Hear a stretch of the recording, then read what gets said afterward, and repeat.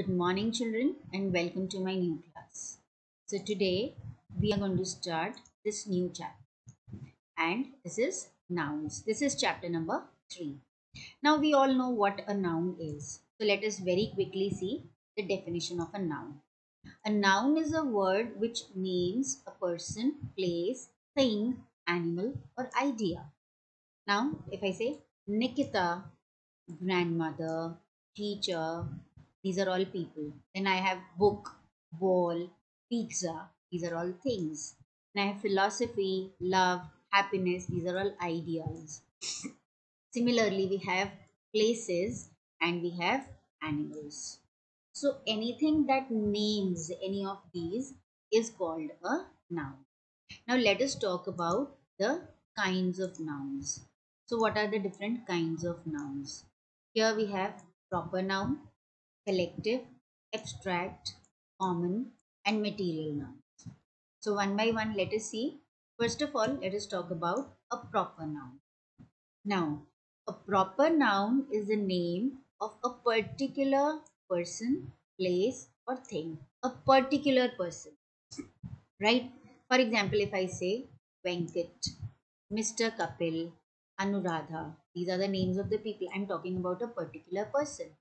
Similarly, we can have titles also Mr., Mrs., Professor, Doctor, Sir, etc. Then we have institutions like if I say United Nations, Coca Cola, Doll Museum, these are all specific institutions. Then we have the White House, the Taj Mahal, etc. Then we have places like Europe. There is only one Europe, right? London, Antarctica, Sahara. These are all places. Then Hinduism, Quran, Bible, Buddhism. So these are the number of you know examples of proper nouns. Proper noun means when we are talking about a specific thing or a place or a person or an object. Now one more important thing to note down is that a proper noun will always start with a capital letter right now let us talk about common nouns now as the name tells us common noun. Common means it's a name that is common to every member of a class or a kind.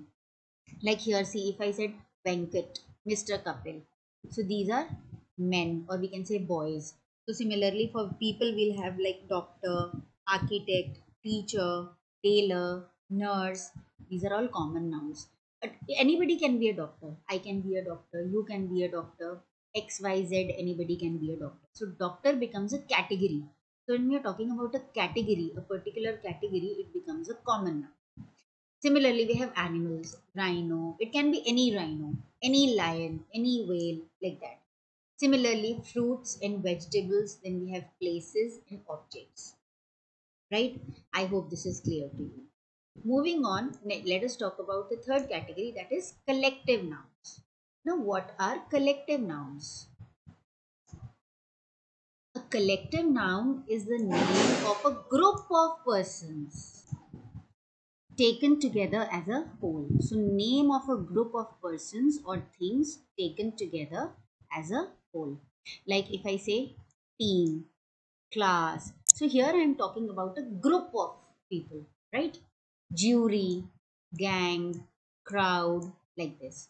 For things, I can have a bundle of books, I can have a bunch of flowers, a fleet of ship, a quiver of arrows, like that. Similarly, we have herd, flock, litter of puppies, pride of lions, like that.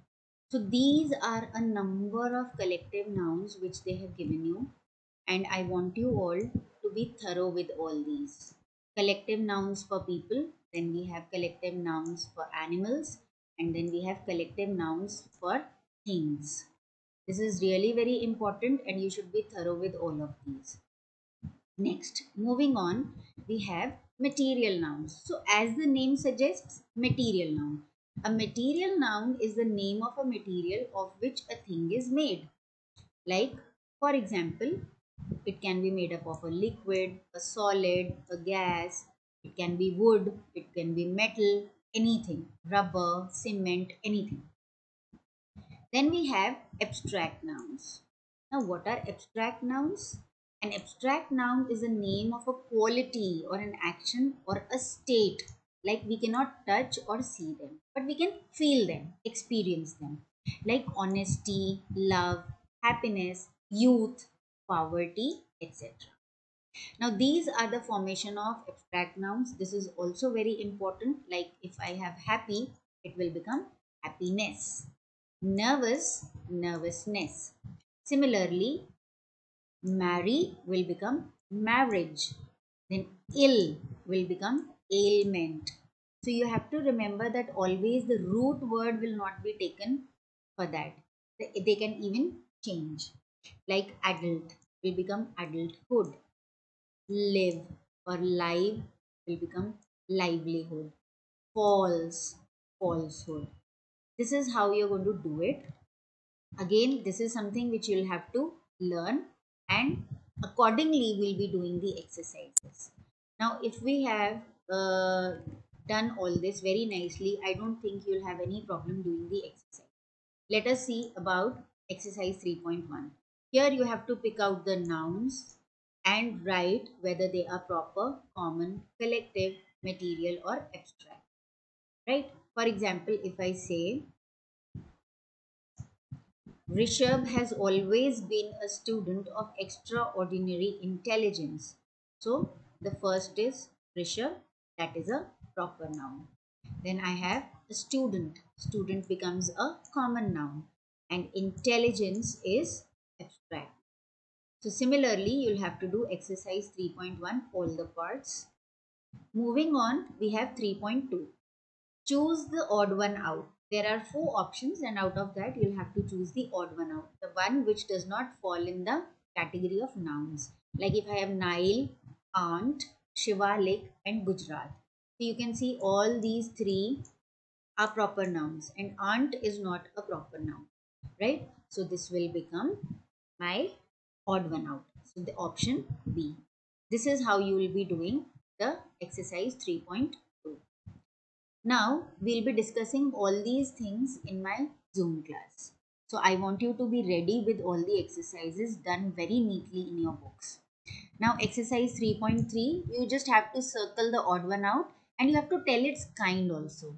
So very easy, herd, bundle, pair, trees, jury, band and litter. As you all can see, these are all collective nouns.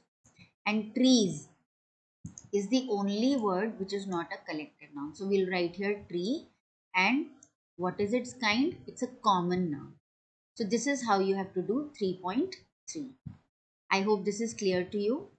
Again in exercise 3.4, you have to fill in the blanks with appropriate nouns. So here you'll have to fill it with the proper nouns proper in the sense whatever is a suitable noun not proper noun suitable nouns.